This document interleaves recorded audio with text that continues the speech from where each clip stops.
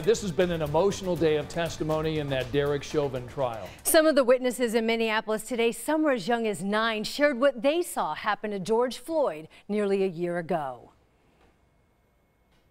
He just pretty much just killed this guy. Day two of the trial begins with raw emotion. Man, he was unresponsive. He wasn't resisting arrest or any of it.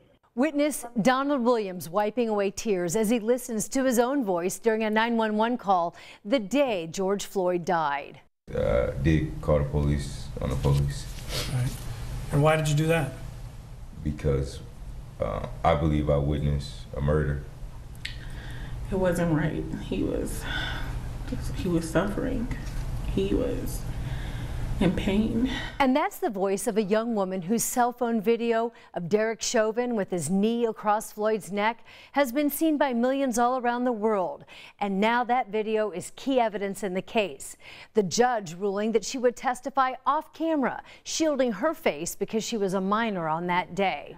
On this day, nothing could hide the emotion in her voice. It's been nights.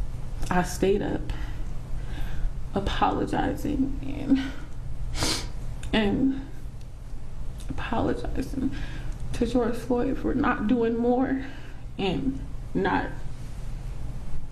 physically interacting and not saving his life. Chauvin took notes throughout the day, at one time standing and removing his mask so a young witness could identify him. That nine-year-old telling jurors Chauvin initially refused to release his hold on Floyd when the paramedics arrived. And what did the ambulance people do? They just had to put him off, get off. The defense team declining to cross-examine the little girl.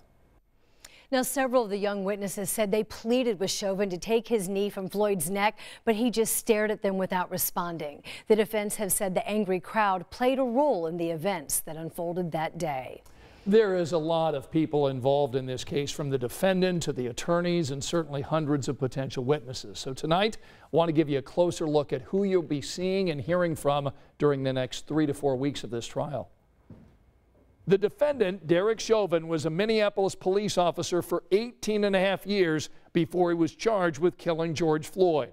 Chauvin is represented by attorney Eric Nelson. He's been involved in high profile cases and is part of a group of Twin City attorneys who take turns representing police officers in criminal cases. At the prosecution table, Matthew Frank and Neil Katyal will be most visible. Frank has been an assistant attorney general for 21 years. Katyal is an East Coast attorney and former acting solicitor general.